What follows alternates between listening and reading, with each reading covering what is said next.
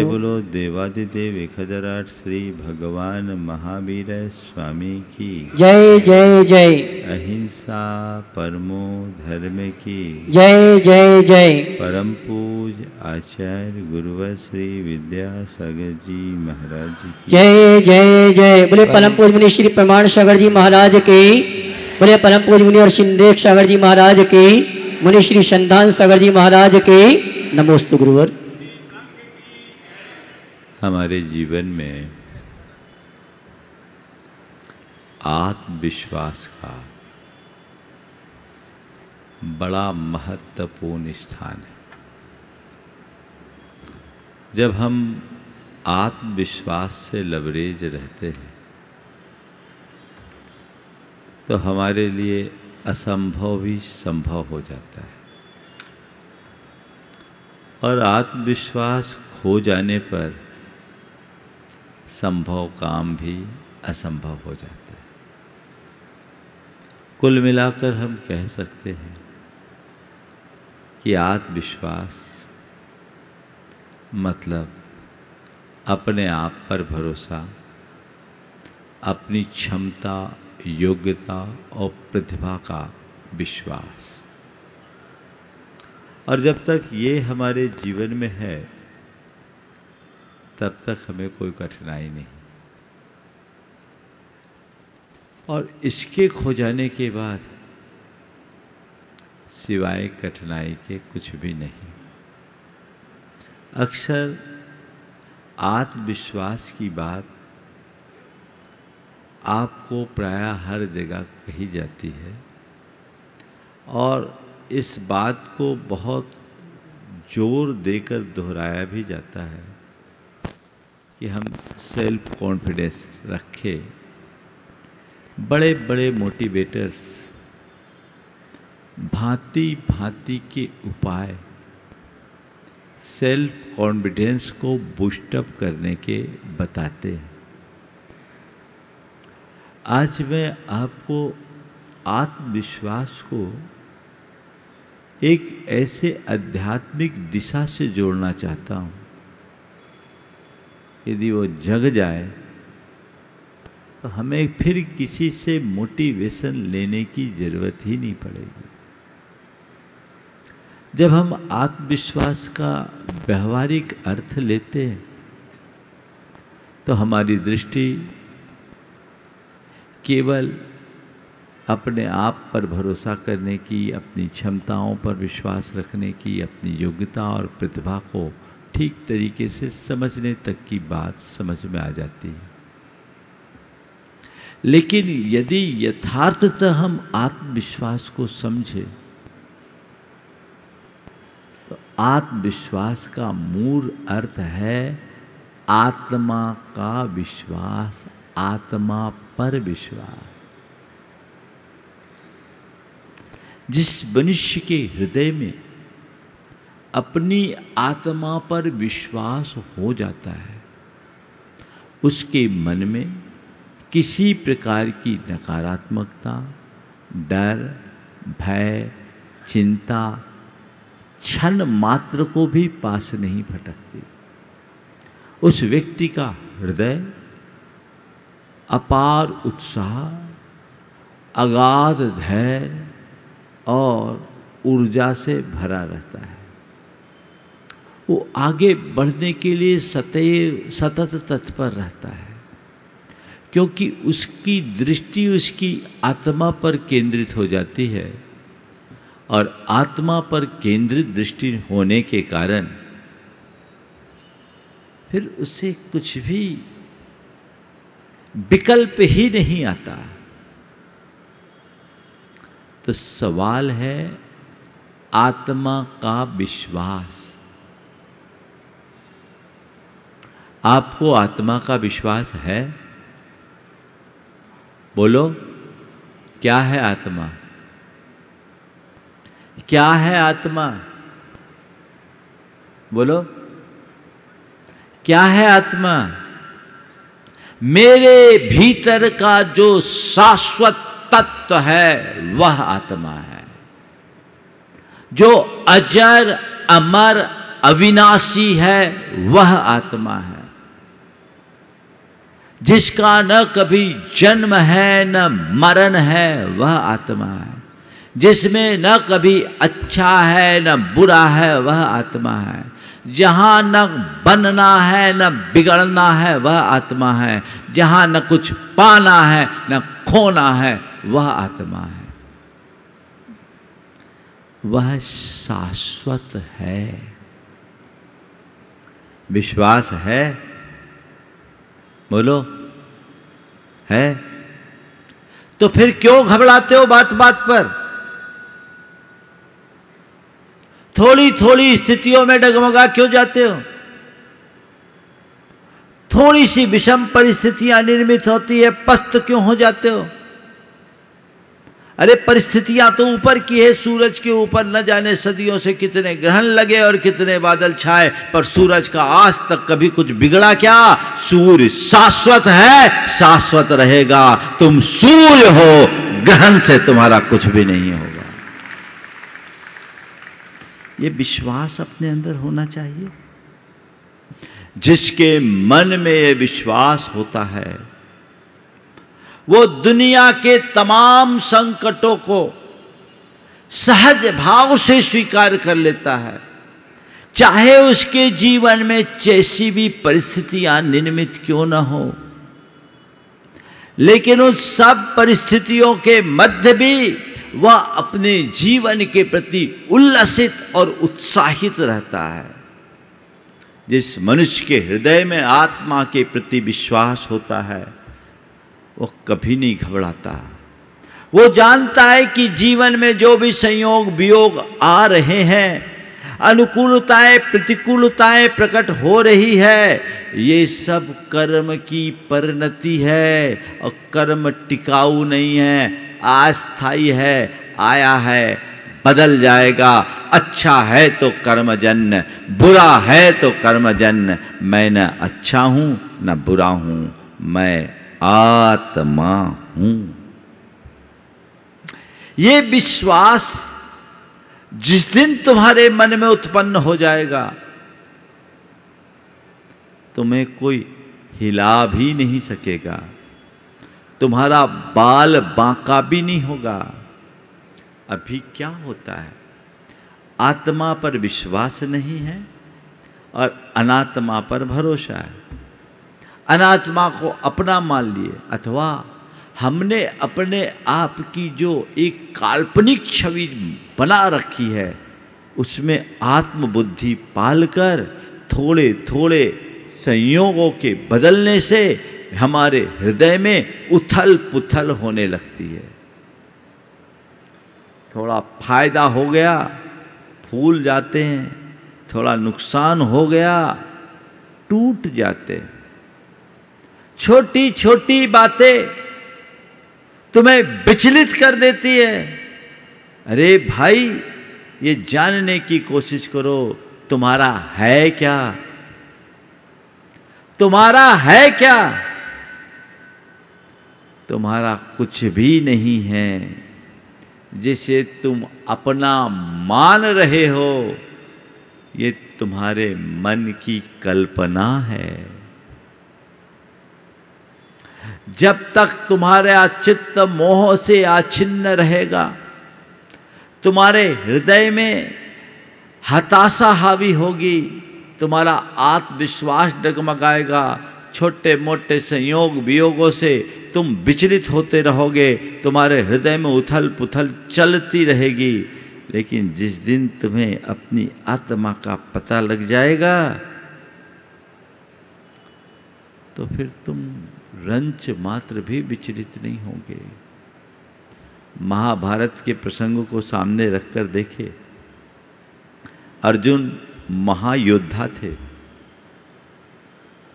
महायोद्धा थे। लेकिन महान योद्धा अर्जुन भी जब युद्ध के मैदान में गए तो फिर पस्त होकर रथ के पीछे की ओर बैठ गए।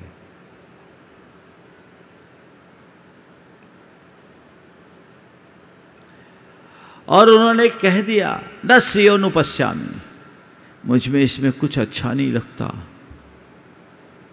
मैं तो इस रणांगन से दूर हो रहा हूँ। मुझे बड़ा डर लग रहा है। मैं किनके साथ युद्ध करूँ? ये सब तो मेरे अपने परिजन हैं। अर्जुन पस्त पड़ गए। उनके अंदर का योद्धा सो गया। लेकिन जब श्री कृष्ण ने उन्हें तत्व ज्ञान दिया, उन्हें बोध कराया कि अर्जुन यह सब की सब मोह की परिणति है। जिन्हें तू अपना मान रहा वो तेरे अपने नहीं है। तेरा जो है, वह केवल तू है, उसे पहचान। ये केवल एक संयोग है। जब अर्जुन को तत्व ज्ञान हुआ तब वो युद्ध के लिए सन्नद्ध हुए और कहे, करिष्य वचनम तब हे प्रभु, अब मैं करूँगा और फिर वो युद्ध में लड़े। ये एक कहानी है महाभारत की। लेकिन यथार्थ में हम देखें तो ये हमारी, आपकी सबके भीतर की कहानी है। जो व्यक्ति अपनी आत्मा को नहीं जानता, मोहाभिभूत होता है, वो हर बात से डरता है, घबराता है, चिंता करता है अवसाद में पड़ता है, उसका मनोबल टूटता है। कुछ करने की उसके अंदर क्षमता नहीं बचती। और कई बार वह निरुपाय, लाचार सा हो जाता है। लेकिन जिसे, जैसे ही तत्व ज्ञान होता, आत्मज्ञान होता है। वो जीवन के इस महासमर में एक योद्धा की भांति जीता है। उसे लगता है कि मेरे लिए न कुछ पाने को है, न कुछ खोने को है, मेरा न कुछ बनना है, न बिगड़ना है। मैं जो हूँ, सो हूँ वह डट करके जीता है। अंतरंग में ऐसा विश्वास जगाने की ज़रूरत है। हमारे यहाँ शास्त्रों में कहा गया सत्य भय विप मुक्का, सम्मा दिट्ठी होन्ति निशंका। सात प्रकार के भयों से मुक्त हो जाता है एक सम्यक दृष्टि। निर्भय निराकुल, निर्द्वंद और परम आनंद में डूबने वाला होता है। क्यों? अपनी आत्मा को जान लिया। तो वो तत्व अंदर आना चाहिए। वो आ गया। तो सब कुछ पा जाओगे। सारी क्षमताएँ आपके भीतर है। जितनी भी समस्याएँ हैं, उनका समाधान भी आपके भीतर है। लेकिन जो इसे जानता है, वो सब कर देता है। और जो नहीं जानता, वो जानते हुए भी बहुत कुछ खो देता है। व्यवहारिक धरातल पर भी अगर आप अपने आत्मविश्वास को जगाना चाहते हैं। बहुत सारी टिप्स हैं जो मैं आपको दे सकता हूँ, दूँगा भी, आज भी चार बातें करूँगा। लेकिन इन बातों का मूल तत्व आत्मा का विश्वास। जीवन में सफल होना चाहते हैं तो इन चार बातों को सदैव याद रखिए। पहली बात, अपने आप पर भरोसा रखिए। किस पर भरोसा कीजिए? अपने आप पर। प्राय लोग परावलंबी ज़्यादा होते हैं, पर मुखापेक्षी ज़्यादा होते हैं। जो व्यक्ति परावलंबी होते हैं, परमुखापेक्षी होते हैं, वे कभी भी टूट सकते हैं, टूट जाते लेकिन जिस व्यक्ति के हृदय में अपनी क्षमता, योग्यता, प्रतिभा का विश्वास होता है, वह कभी नहीं टूटते। अपनी समीक्षाएँ कीजिए, समीक्षा करके देखिए। मन में कभी हीन भावना प्रकट नहीं होगी। मन हमेशा उत्साह से बना रहेगा। अपने आत्मविश्वास को कायम करने के लिए तीन बातों को ध्यान रखो। उत्साह, धैर्य और तत्परता। क्या बोला मैंने? उत्साह, धैर्य और तत्परता। जिसके अंदर ये तीनों गुण है, वह आत्मविश्वासी बनेगा। कोरा उत्साह नुकसान कर देगा। मेरे मन में किसी कार्य के लिए उत्साह है, मैं आत्मविश्वास से भरा हूँ, उत्साहित हूँ और तैरना नहीं आता और समुद्र में कूद जाऊँ। क्या होगा? खत्म होगा काम। उत्साह है, लगन से काम भी कर रहा हूँ, पर धैर्य न रखूँ। काम होगा? नहीं होगा। खूब उत्साहपूर्वक बीज बोया विधि पूर्वक बीज बोया, और दूसरे दिन से देखना शुरू कर दिया, बीज अंकुरित हुआ कि नहीं, अंकुरित हुआ कि नहीं, अंकुरित हुआ कि नहीं। बीज अंकुरित होगा क्या? नहीं। ठीक है।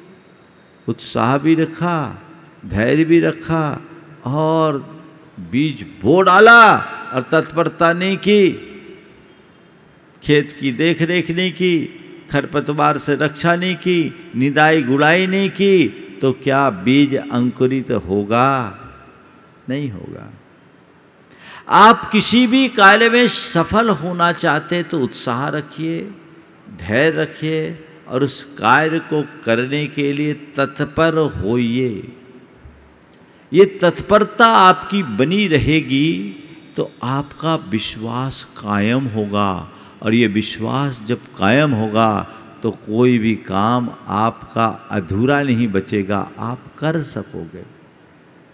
जिन लोगों के अंदर अपने आप के प्रति भरोसा कम हो जाता है। उनको लगता अब ये कैसे होगा? अब हम कैसे करेंगे? उनका वही से विश्वास कम होता है, क्षमताएँ कुंठित होने लगती है। मैं अपना अनुभव आप सबके बीच रखता हूँ। मैं बहुत आत्मविश्वास से जीता हूँ, उत्साह भी रखता हूँ धैर्य भी रखता हूँ और तत्परता भी। इन तीनों को मैं अपने साथ रखता हूँ और मेरा आत्मविश्वास सब काम में मुझे सफल कराता है। मैं कभी नहीं घबराता। कभी नहीं घबराता। कई बार कई तरह की विषम परिस्थितियाँ मेरे सामने आती है। और मैं अपने जीवन में आने वाली हर विषमता को एक चुनौती के रूप में स्वीकार करता हूँ और हर चुनौती को एक उपलब्धि के रूप में प्रकट करता हूँ। आएगी। हर मनुष्य के सामने आती है। वो चुनौतियाँ ना आए तो जीवन आगे कैसे बढ़ेगा? लेकिन मेरा आत्मविश्वास मुझसे एक बार किसी ने पूछा, महाराज, आप शंका समाधान में कोई भी प्रश्न होता, आप उत्तर कैसे दे देते? हैं मैंने कहा, मुझे भरोसा है कि मैं उत्तर दे दूँगा। तुम पूछ के देखो। अभी एक प्रेस कॉन्फ्रेंस हुआ, तीन दिन पहले। एक प्रेस वाले ने पूछ लिया कि, जहाँ आपका प्रवास है, बाजू में शराब की दुकान है। जहाँ आपका प्रवास है, बाजू में शराब की दुकान है क्या ये ठीक है? हमारे कार्यकर्ता बोलने लगे, ये मत पूछो। ये मत पूछो। पत्रकार बोला, भाई तो कुछ भी पूछ सकता हूँ। मैंने कहा, भैया, पूछो। बहुत अच्छी बात है। मैंने उससे तुरंत जवाब दिया कि शराब की दुकान है, बहुत अच्छा है।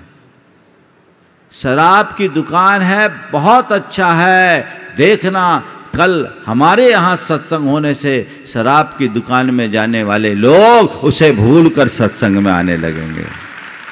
यही तो उपलब्धि है। तुम शराब के दुकान के पास सत्संग से परेशान क्यों हो रहे हो?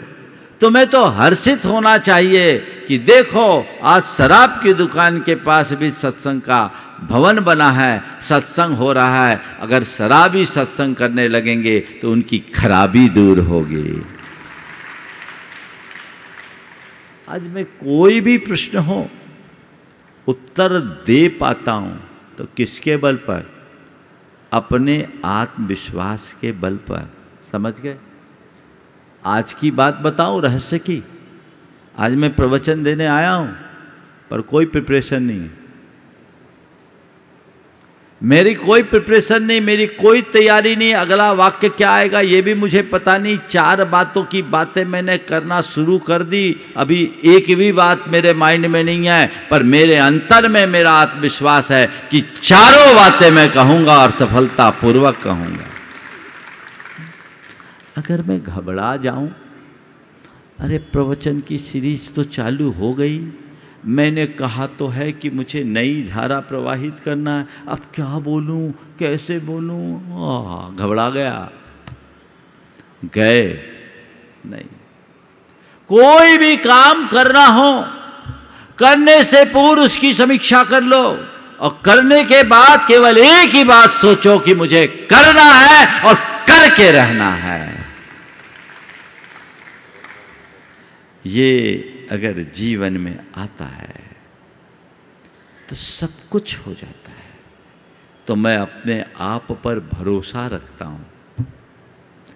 पहला, अपने आप पर भरोसा रखिए। समझ गए? और अपने पर भरोसा जब डगमगाने लगे तो अपने गुरु और प्रभु पर भरोसा रखिए। ये भरोसा तुम्हें सफलता देगा। कभी नहीं डगमगाओगे। एक राजा अचानक परचक्र के आक्रमण से अपना सारा राजपाठ वैभव खो दिया और गुप्त मार्ग से प्राण रक्षा के लिए जंगलों में भटकता फिरा। जंगल में उसे एक संत मिले। संयोगतः वे संत उसके बचपन के मित्र थे। संत को उसने अपनी सारी व्यथा बताई। पूरा राज खो गया। राजा बड़ा मायूस था। इतना बड़ा साम्राज्य खो दिया और दस बीस सेना की टुकड़ी के साथ वो अकेला वनों में था।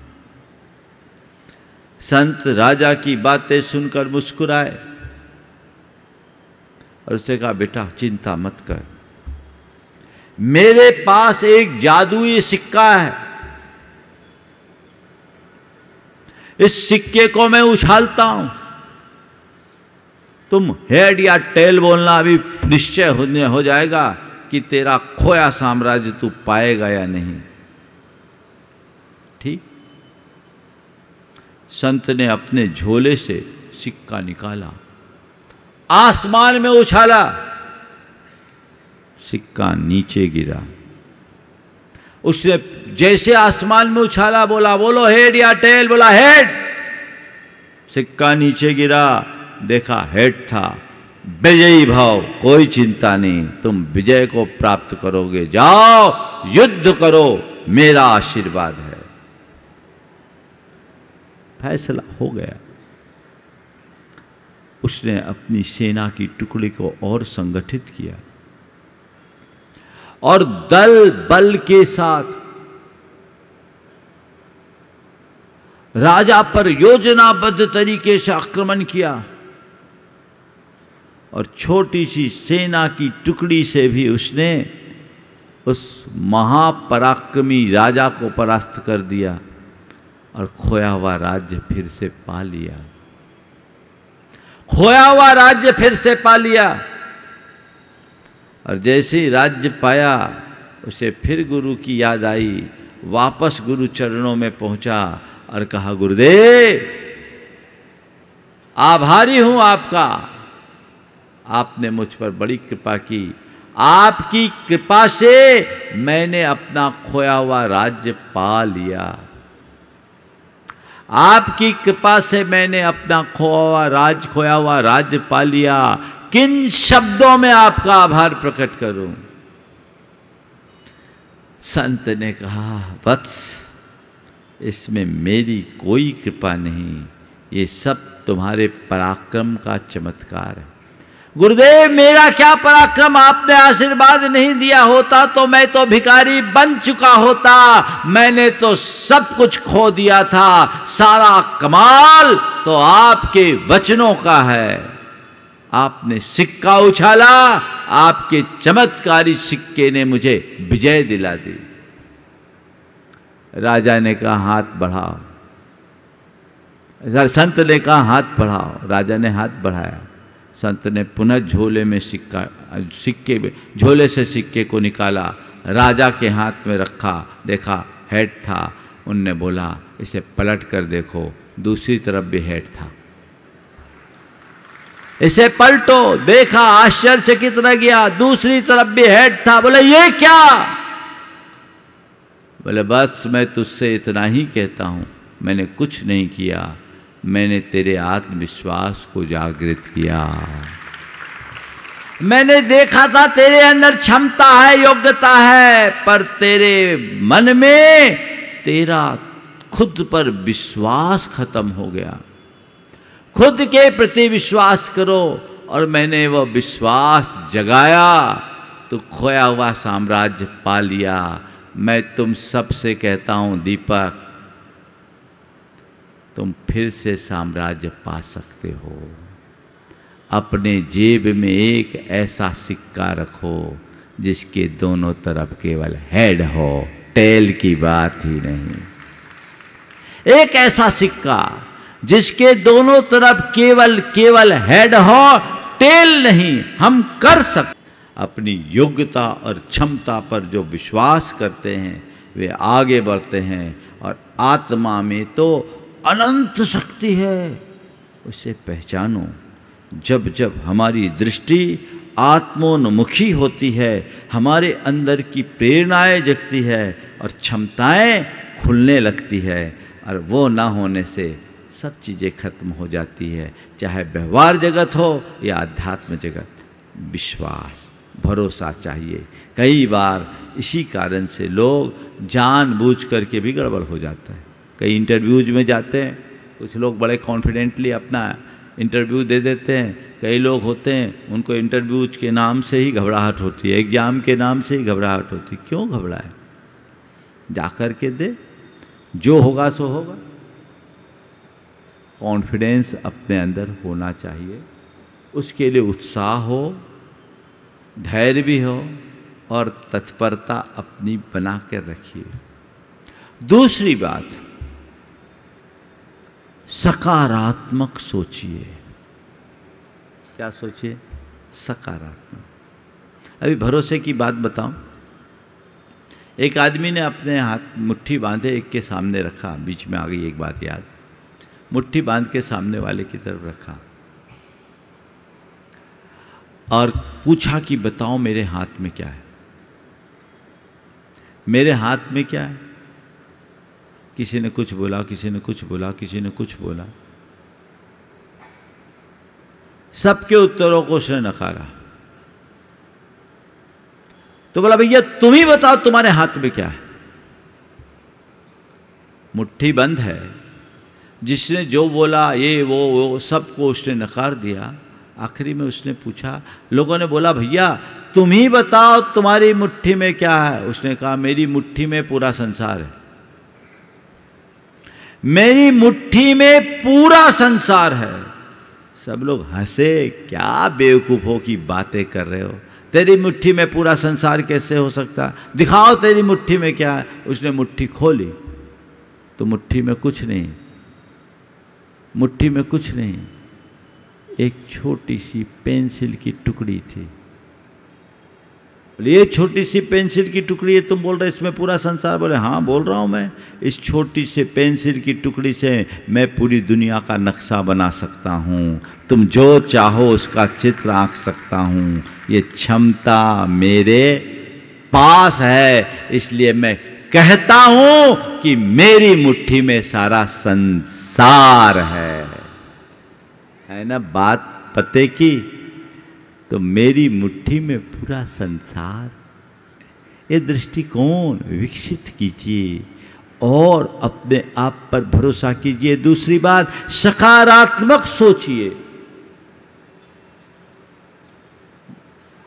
जब जब हम सकारात्मक होते हैं, हमारा विश्वास बढ़ता है और जब हम नकारात्मक हो जाते हैं, हमारा आत्मविश्वास कमज़ोर होने लगता है।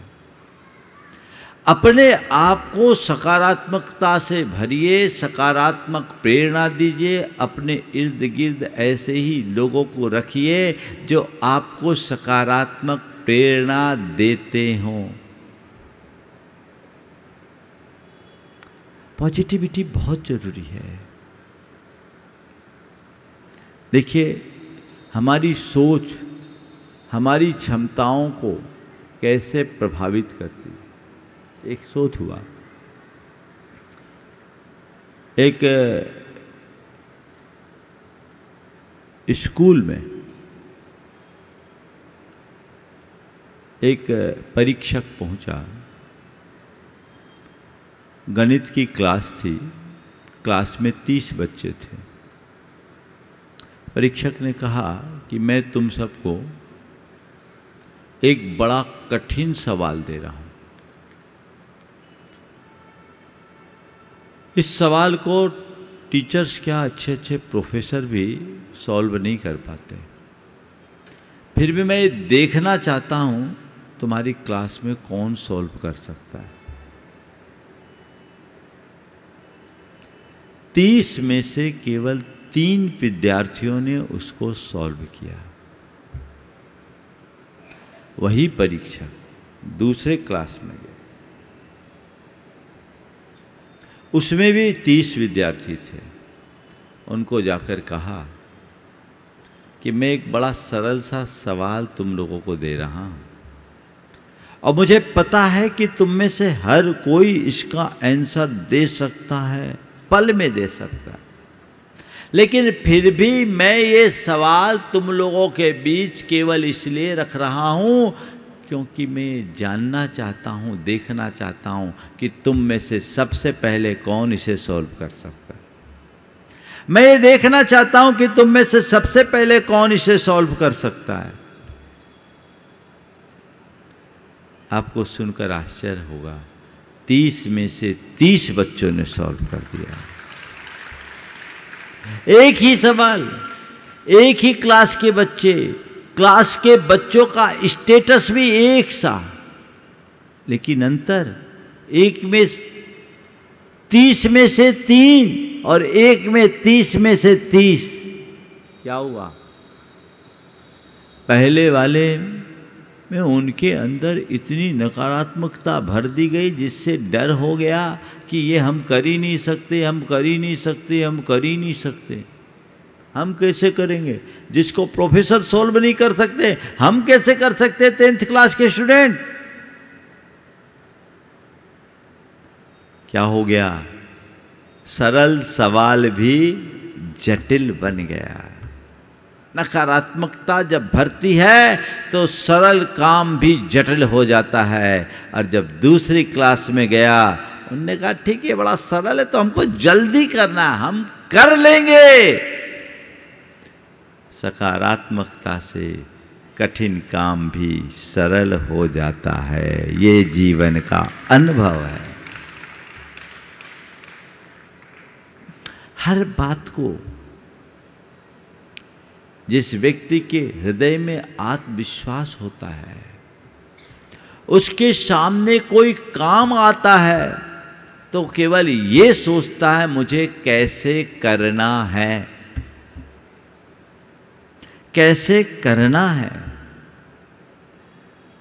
और जिसका आत्मविश्वास कमज़ोर होता है, उसके सामने कोई काम आता है तो वो सोचता है, कैसे करेंगे?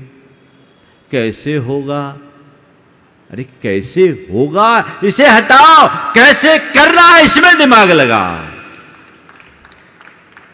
सफलीभूत तो तभी हो पाओगे। जीवन आगे तभी बढ़ पाएगा। तो हमेशा सकारात्मक सोचिए, नकारात्मक मत सोचिए। किसी भी कार्य को आगे करना है तो आप कीजिए। नकारात्मकता से बचिए। जो नकारात्मक प्रेरणा देते उनसे भी बचिए। अरे, तुम नहीं कर पाओ। बहुत सारे लोग हैं जो डीमोटिवेट करते हैं। थोड़ा सा भी कुछ होता है ना। अभी मुझे ही बहुत लोग आकर के परेशान कर रहे हैं।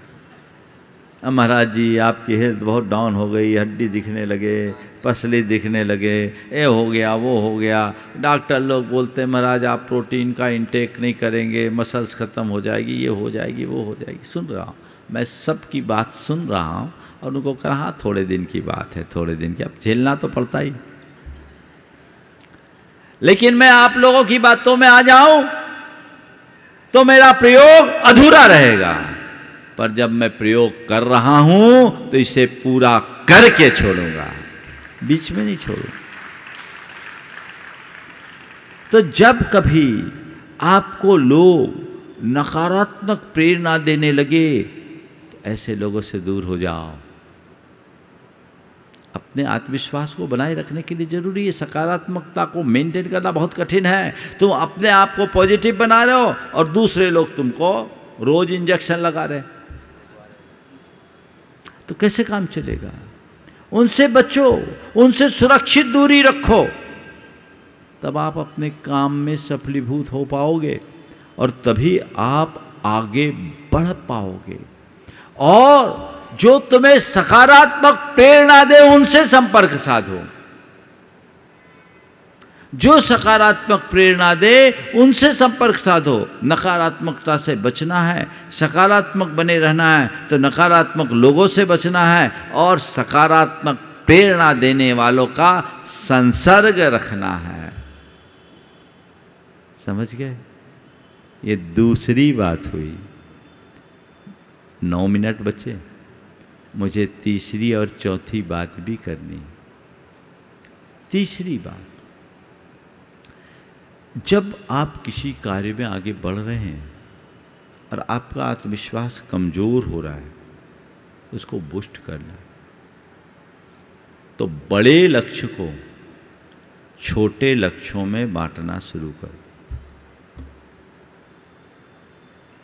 आपका कॉन्फिडेंस बिल्टअप होने लगेगा। एक बड़ा लक्ष्य है, कोई बड़ा बिज़नेस करना है, आप कैसे करेंगे? एक साथ इतना सारा इन्वेस्टमेंट है कहीं नुकसान ना हो गया तो हो सकता है। बहुत लोग परेशान हो जाते बिल्कुल। मैं ऐसे लोगों को कहता हूँ, एक बड़े लक्ष्य को कई टुकड़ों में बांटो।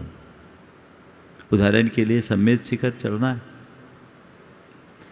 सत्ताईस किलोमीटर की बंधना है, कैसे चलेंगे चढ़ ही नहीं पाओगे। अरे सुना नौ किलोमीटर तो सीधी चढ़ाई है। फिर नौ किलोमीटर घूमना पड़ेगा, उसमें भी खूब उतार चढ़ाव है। फिर नौ किलोमीटर उतरना है, कैसे होगा? बिल्कुल नहीं होगा। क्या करो?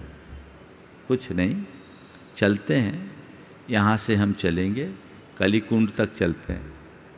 फिर गणधर नाला तक चलते हैं, फिर शीतल नाला तक चलते हैं, फिर चोपड़ा कुंड तक चलते हैं, फिर गौतम टोक तक चलते हैं। अरे यहाँ तक तो आ गए। चलो, अब मुनिशुब्रत टोक तक चलते हैं। चलो, अब चंद्रप्रभु भगवान की टोक तक चलते हैं। चलो, अब जल मंदिर तक चलते हैं। और अब क्या बचा? अब पारसनाथ टोक तो आ ही गया। है ना ये प्रयोग सिद्ध बात? जब हम किसी बड़े लक्ष्य को एकदम से सामने रखने लगते हैं तो हमारे मन में अनेक प्रकार के सवाल उत्पन्न होने लगते हैं।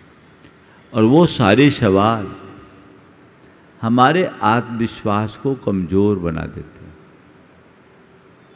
और यदि उसी लक्ष्य को हम छोटे छोटे लक्ष्यों में बांट देते हैं तो हमारा उत्साह भी बढ़ता है और आत्मविश्वास भी संचरित होने लगता है। हाँ चलो इतना तो कर लिया, अब इतना और, अब इतना और, अब इतना और, अब इतना और। ऐसा करने वाले लोग एक एक करके हज़ार सीढ़ी चढ़ जाते हैं, पता ही नहीं लगता। पूरी वंदना कब हो गई पता ही नहीं लगता। और एक साथ सौ सीढ़ी चढ़ने वाले लोग एक कदम भी नहीं चढ़ पाते। बड़े लक्ष्य को छोटे लक्ष्यों में बांटिए, आत्मविश्वास बढ़ेगा। और चौथी बात नुकसान को नसीहत मानिए, गलतियों से सीख लीजिए। अपने आत्मविश्वास को बढ़ाना है। हर मनुष्य कई बार गलतियाँ कर बैठता है। और जब कोई एक गलती कर देता है, उससे नुकसान होता है, चाहे व्यापार में नुकसान हो, चाहे प्रतिष्ठा में दाग हो, या संबंध खराब होते हों, ये सब चीज़ें हैं जो हमें बड़ी क्षति दिखती है, और उससे व्यक्ति टूट जाता है, मायूसी छा जाती है, गहन अवसाद से भर जाता है। और कई कई लोग तो डिप्रेशन में चले जाते हैं, आत्मविश्वास तो एकदम खंडित हो जाता अब भैया, अब तो मेरे बस का ही नहीं है, अब मैं कुछ करूँगा ही नहीं, अब मेरा कुछ हो ही नहीं सकता। इस लेवल की सोच जिनकी हो जाती है वह कभी आगे नहीं बढ़ सकते। नहीं। अपने जीवन व्यवहार के संदर्भ में आपसे कहूँगा कोई भी गलती हो, आप अपनी समीक्षाएँ करते रहिए। और गलतियाँ हुई है, घबराइए नहीं, पर केवल अपनी गलती गलती को मत देखिए, अपनी कमियाँ देखिएगा, केवल कमियाँ देखिएगा। हालाँकि अपनी कमी देखनी चाहिए लेकिन कमी इसलिए नहीं देखना चाहिए कि आप कमियों में डूबे रहें, अपनी कमियों को सुधारने के लिए देखना चाहिए कि मेरी क्या क्या खामियाँ हैं जिसे मुझे सुधारना है, उनको मुझे दूर करना है, क्योंकि कोई ऐसी कमी नहीं जिसे मैं सुधार नहीं सकता।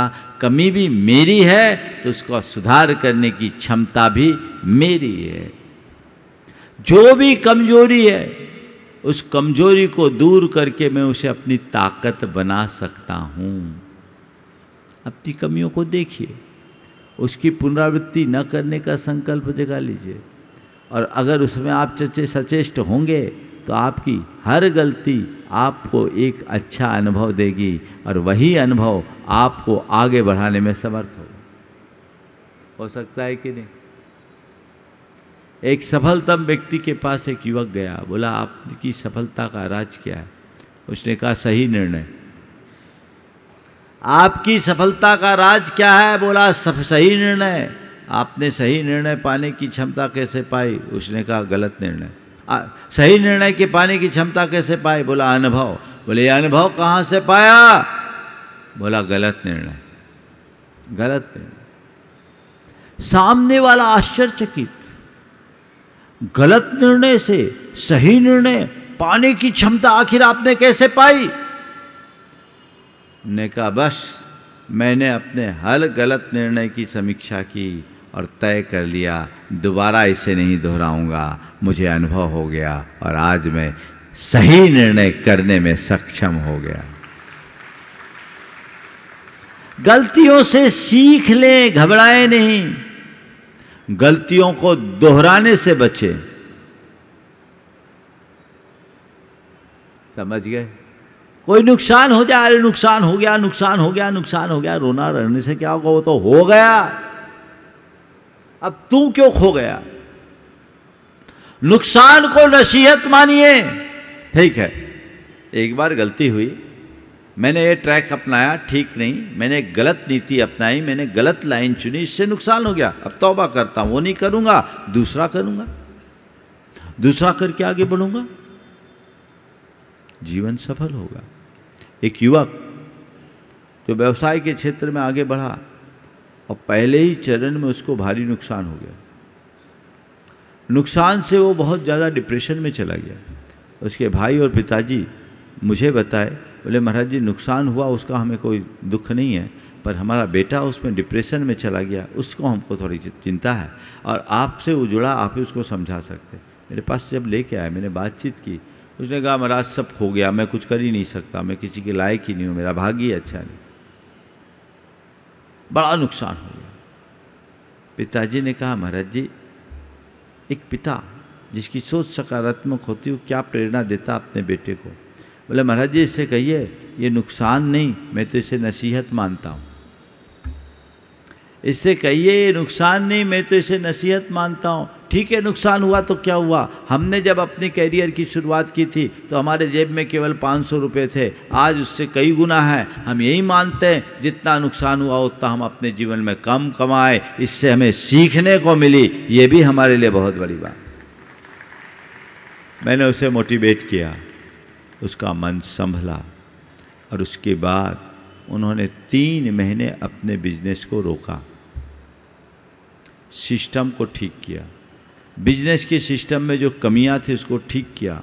ऑटोमेशन के मोड में लाया। आगे बढ़ा। दो साल में अपने बिज़नेस में 300 परसेंट की ग्रोथ दे दिया।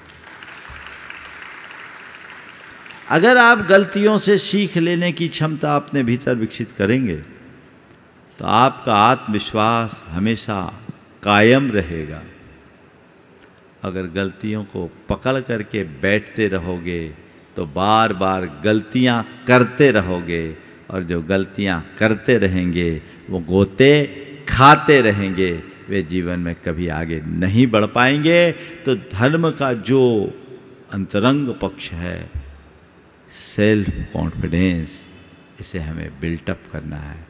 आत्मा को केंद्र बिंदु बना करके चलें हमारा जीवन सफलीभूत होगा और कल का विषय होगा सेल्फ सेटिस्फेक्शन हम किस तरीके से अपने जीवन में लाएँ हम उसकी चर्चा करेंगे। समय आप सबका हो गया। यहीं पर विराम। बोलिए परम पूज आचार्य गुरुवर श्री विद्यासागर जी महाराज की।